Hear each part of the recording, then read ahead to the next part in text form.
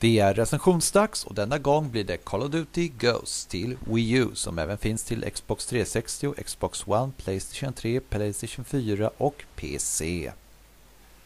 Call of Duty Ghosts utspelas i en framtid där USA har blivit kraftigt försvagat som supermakt efter att landets försvarssystem Odin, Orbital Defense Initiative, kapats av sydamerikaner från militärunionen Federation och avfyrar mot amerikanska storstäder.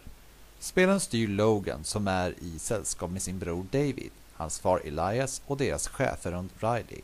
De är med i en amerikansk militärgrupp kallad Ghosts vars mål är att stoppa Federation. Årets upplaga har förnyats med en rad nya funktioner. Bland dem är att man kan glida sig fram genom att springa och hålla ner krypknappen och en annan funktion är att man kan skjuta med en lutad vinkel, till exempel vid en dörr. Nytt i multiplayer är att man kan välja utseende på sin karaktär där man kan välja uniform, hjälm, huvud och spela manlig eller kvinnlig soldat. Nya spellägen har lagts till, bland dem är Blitz, Cranked, Squad och Extinction Mode. Handlingen i kampanjen är intressant och välberättat. Ibland känns Call of Duty Ghost som en omskriven version av Modern Warfare-serien fast med andra karaktärer och utan ryssar inblandade.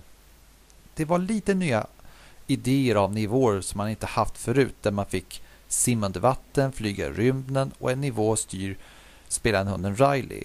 En intressant detalj är skådespelarna spelas av Brandon Ruff som är känd för rollen som Stålmannen i Superman Returns och Steven Lang känd som Miles Quadrich i Avatar. Multiplayer-läget är snyggt gjort men vissa banor är alldeles för stora för 12 spelare och skulle hellre passa för upp till 18 spelare.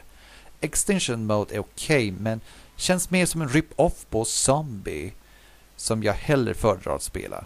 Grafiken på Wii U är välgjord och ligger nära kvaliteten på Playstation 3. Det går att spela med GamePad, Pro Controller eller Wii Remote.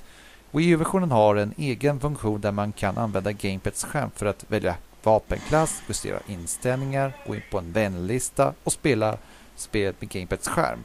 Om man spelar hemma för två spelare kan ena spelaren använda TVn medan den andra spelaren kan använda Gameplays skärm. Call of Duty Ghost är utmärkt, men jag föredrar hellre Modern Warfare 3 och Black Ops 2. Betyg till spelet blir 4 5.